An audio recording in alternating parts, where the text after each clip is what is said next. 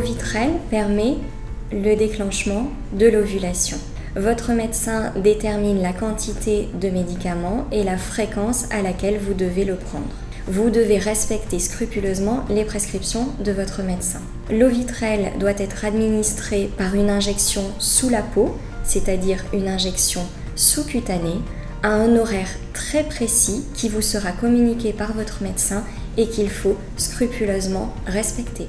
Avant de réaliser vos injections, vous devez au préalable choisir un bureau ou une table que vous allez désinfecter à l'aide d'un désinfectant de surface afin que vous puissiez poser votre matériel sur une surface propre. Vous laissez sécher et vous jetez la lingette dont vous venez de vous servir. Avant de manipuler le matériel nécessaire à la réalisation de vos injections, vous devez au préalable effectuer un lavage soigneux de vos mains.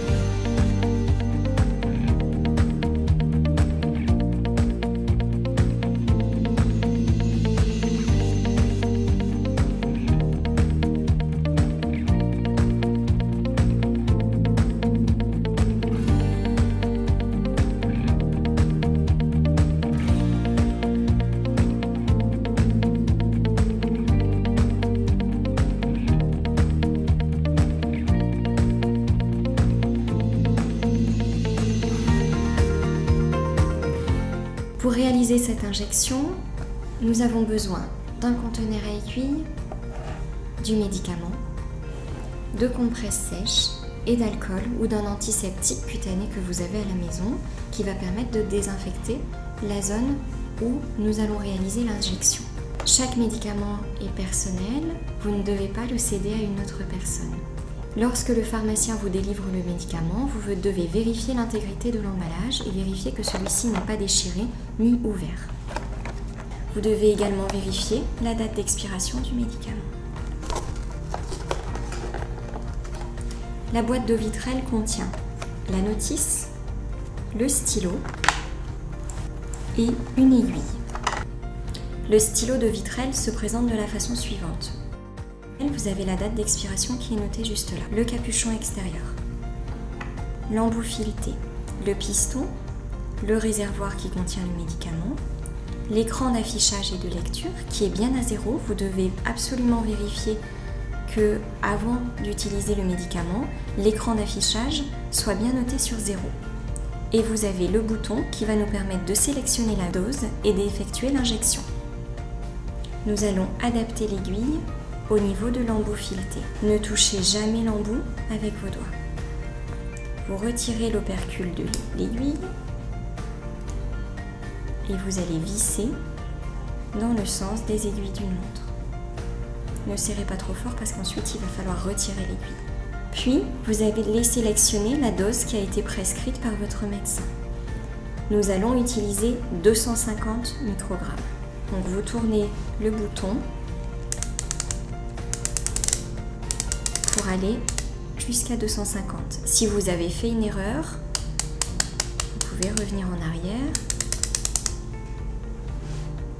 Vérifiez bien que la dose de 250 soit notée. Nous allons procéder ensuite à l'injection.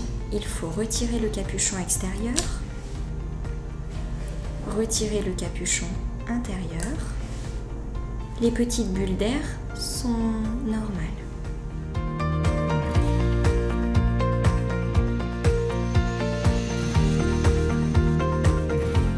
Les injections sous-cutanées peuvent être réalisées dans la partie du ventre.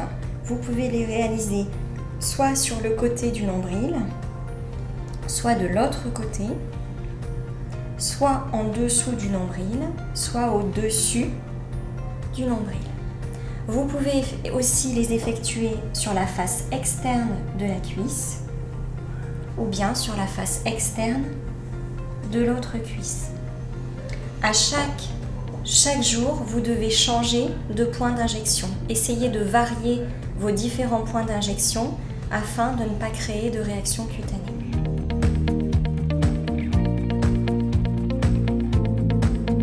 Avant de réaliser l'injection sous-cutanée, vous devez procéder à une désinfection de la peau au niveau du point d'injection. Donc vous prenez votre tampon votre compresse qui a été préalablement imbibée d'alcool et vous désinfectez la peau. Vous laissez sécher quelques secondes et on va ensuite procéder à l'injection. Pour réaliser l'injection de vitrelle, vous devez au préalable bien vérifier que la dose qui est affichée au niveau de l'écran de lecture est bien la dose qui vous a été prescrite par votre médecin. Pour réaliser l'injection, vous devez faire un petit pli de peau au niveau du ventre.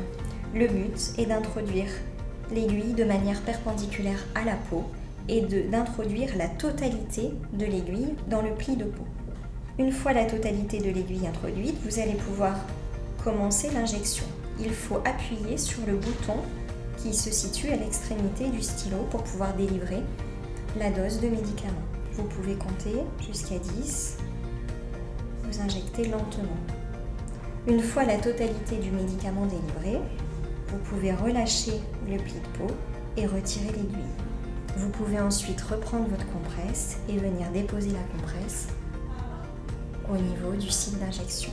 Vous n'avez pas besoin de masser le site d'injection. Vous allez remettre l'aiguille dans le capuchon extérieur maintenant que nous avons procédé à l'injection. Vous vérifiez bien que le stylo s'est bien noté à zéro. Si jamais c'est pas à zéro, ça veut dire que l'injection n'a pas été effectuée correctement. Vous allez dévisser l'aiguille et on va procéder à l'élimination de l'aiguille dans la boîte à aiguilles. Vous voyez, on a ici le témoin que toute la dose a bien été délivrée puisque l'écran affiche 0 et le piston est au niveau de 0. Vous pouvez refermer le stylo. Le stylo devra être rendu au pharmacien afin qu'il procède à l'élimination de ce dernier.